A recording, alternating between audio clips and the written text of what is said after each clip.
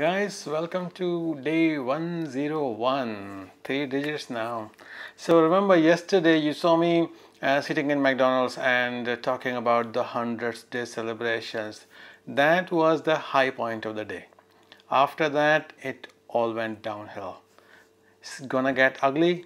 It got ugly. Oh, it got very ugly. So when I came back to the garage from McD's, um, I got the news that my car failed MOT, and that's news. Ask anybody. That's horrible news. another bad news was that they could not do it immediately. Some of those needed, some of the parts needed to be replaced. Couple of tires needed to be replaced.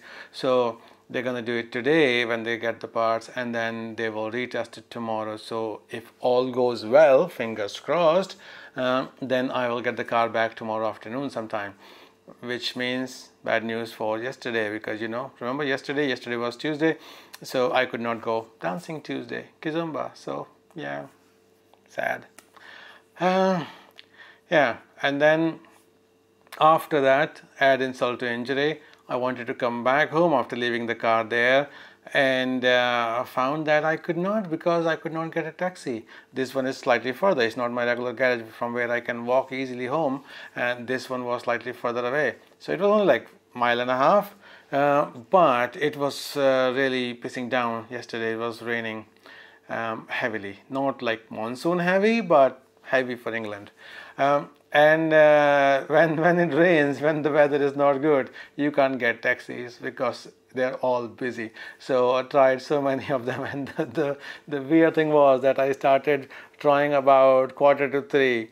And uh, then uh, the first one that i tried which is my regular one and they said oh i don't have anything until half past three. So okay. So i said okay never mind. And then i tried another one then I tried another one and then ultimately it was half past three but because i had not booked that with the first one i still had no taxi. So ultimately i decided to just you know bite the bullet put the hoodie up and then just walk home in the rain. It was not pretty. Got quite wet. But uh, so this is the thing. This reminds me that car in this country means freedom. It was the same thing in us as well. If you don't have car you feel like you are not free because you can't go anywhere, you can't do anything for all the activities, everywhere you go, need the car. Uh, here also, like yesterday, could not go to the dancing uh, because didn't have the car. So, and then then that leads to other thoughts because you when you're walking, you think, and then I thought, freedom is probably the second most abused word that everybody uses, but very few, or if maybe nobody understands. Well, I understand and I'm gonna tell you so you would understand, but outside of this vlog, nobody understands, believe me. Yeah? And the first most abused word, I'm sure you know that, is love.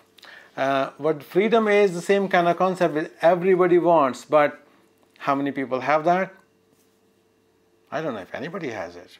Because think about it we have uh, so many restrictions on our lives and our actions and our choices that you can't really say that you have absolute freedom. Um, first thing is the laws. Well, you have to have laws, obviously. Then there are the moral and social restrictions or regulations, uh, and then there are your uh, expectations from the society. They are not restrictions, but there's expectations. So um, this this is I'll, I'll give an example. So, for example when I was growing my hair long, this was uh, a few years ago, and um, I did lots of research because you know girls have lots of experience in growing their hair, guys don't because we have short hair from childhood. Okay, so I found that there are so many uh, psychological things and social things and religious things involved in hair, um, and found that this term called uh, I think it was called voluntary obligation something similar to that like a contradiction in terms so it's voluntary but it's also you're obliged to do this which is something like keeping your face clean shaved or keeping the hair short um, similar one for girls would be the keeping the hair long because that is the norm in the society so if you go against that uh, then you are breaking that voluntary obligation. So nobody's going to say, no, no police is going to come and say like, no, you can't have your hair six inches long. You are a guy, have short hair. So, but if you do grow your hair long, you are going against the norms of the society. And I did feel those things. I did feel those things that the, the articles mentioned um, that uh, you can expect from other people or from the society, from even from your friends. You can expect that kind of behavior. I did, I did feel that. So that's that's kind of a restriction on freedom as well. So think about that and just be aware that if you want to be free you have to take it upon yourself and not let uh, the rest of the world dictate your actions and your choices. Yeah. But if you take my advice i would i would like to influence one of your choices which is to click like on this video and then subscribe to the channel. Yeah. It's free so you know just go ahead um, thank you very much for watching today's episode. This is my episode for today and meet me here tomorrow